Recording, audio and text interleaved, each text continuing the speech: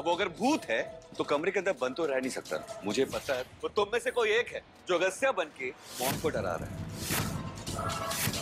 युग के सामने आया अगस्त और पाखी का प्लान बात हो रही है कलर्स टीवी के most popular show Fanaa Ishq Mein Marjawan season two की। जैसा कि हम आपको बता दें कि यहाँ पर अगस्त पूरी तरह से मीरा को डरा रहा है। और मीरा जो है, अगस्त और पाखी के जाल में भी फंस गई है। दूसरी तरफ़ युग शक हो गया है की कोई ना कोई गड़बड़ है और यहाँ पर कोई ना कोई अगस्त बनकर डरा रहा है। आने वाले एपिसोड में आप देखने वाले है की युग को पता चल जाएगा की अगस्त की मौत नहीं हुई है, बल्कि पाखी और अगस्त ने मिलकर ये पूरा षड्यंत्र रचा है। यहाँ पर अगस्त के ज़िंदा होने का सच सामने आने के बाद कहीं न कहीं अगस्त और पाखी का प्लान एक्सपोज हो जाएगा। जिसके बाद युग ये सारी बातें मीरा को बताने वाला है और आपको तो पता ही है, मीरा ये सच जानकर किस तरह से रिएक्ट करने वाली है। आने वाले एपिसोड में ये देखना काफ़ी ज़्यादा दिलचस्प होगा कि अगस्त और पाखी का प्लान जानने के बाद अब युग क्या करने वाला है। पाखी और अगस्त के प्लान पर पानी फेरने वाला है। टीवी सीरियल से जुड़ी तमाम लेटेस्ट अपडेट्स के लिए चैनल को सब्सक्राइब करना ना भूलिएगा।